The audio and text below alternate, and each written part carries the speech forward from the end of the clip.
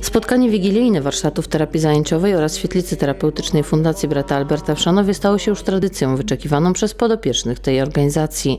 Jest to bowiem okazja, by spotkać się w gronie bliskich, podzielić opłatkiem i w rodzinnej atmosferze miło spędzić czas. To jest bardzo miły obowiązek, dlatego że każda z naszych placówek organizuje to na swój sposób. E, Zaprasza dość dużo gości, e, przyjaciół, dobroczyńców, współpracowników, na przede wszystkim osoby niepełnosprawne i ich rodziny. Na Wigilii w Szanowie nie mogło zabraknąć prezesa Fundacji księdza Tadeusza Isakowicza-Zalskiego, dla którego nasze miasto jest miejscem szczególnie bliskim sercu.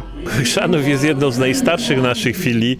Ja tu jeszcze byłem jako e, kleryk e, pod koniec swoich studiów na parafii. Akurat wybuchł stan wojenny, więc pamiętam bardzo dobrze te chwile. Bo mieszkałem wtedy przy parafii świętego Mikołaja i tutaj też powstała wspólnota Wiara i Światło, czyli wspólnota popularnych muminków, z której właśnie urodziła się filia fundacji. Także tutaj te korzenie e, i fundacji, moje osobiste są bardzo dawne i dlatego e, tu jest wiele osób, które no po prostu świetnie się znają i to jest myślę takie spotkanie naprawdę rodzinne, więc ja z przyjemnością tutaj przyjeżdżam. Na Wigilii w Sokole zjawili się podopieczni fundacji, ich bliscy i przyjaciele oraz przedstawiciele władz samorządowych i dyrektorzy chrzanowskich instytucji. Nie zabrakło więc życzeń na kolejny rok i podziękowań za mijający udany. Okolicznościowe kalendarze z rąk prezesa fundacji księdza Tadeusza Isakowicza-Zalskiego oraz kierownika warsztatów terapii zajęciowej w Szanowie Roberta Gądzika otrzymał m.in. wicestarosta chrzanowski Krzysztof Kasperek.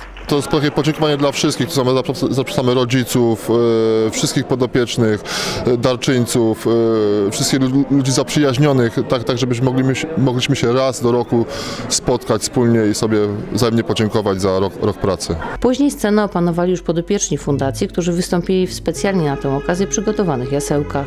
Jak podkreśla Robert Gądzik, przedstawienie jest efektem pracy wielu osób, nie tylko tych, którzy występowali. Wszyscy się garną na decyzję, żeby się pokazać. Są, są piękne stroje wykonane przez pracownię warsztat, e, e, Fundacji Bata Alberta Warsztat Terapii Zajęciowej w Szanowie, pracownię krawiecką. E, spektakl przygotowany w, pod kierownictwem pana Jana Gębickiego, prowadzącego pracownię teatralno-muzyczną. Niemniej to jest taki efekt pracy wszystkich naszych pracowni w naszej placówce. Zarówno część plastyczna wykonuje część, część dekoracji, więc to jest takie wspólne dzieło wie, wieńczące cały rok pracy i na pewno nasi z dumą i z wielką satysfakcją w tym biorą udział. Po przedstawieniu uczestnicy Wigilii połamali się opłatkiem i zasiedli do wigilijnej uczty. Tradycyjnie mamy te 12, staramy się tradycję podtrzymywać, mamy tradycyjnego karpia, łazanki, e, barszczyk czerwony, więc to, jest to, tra- tradycyjne, tradycyjna wigilia, e, pomagająca zachować taką atmosferę rodzinną, którą na, na co dzień przenosimy do, do swoich placówek. Wigilii towarzyszył kiermasz, na którym można było kupić dekoracje na świąteczny stół i nie tylko, wykonane przez podopiecznych fundacji.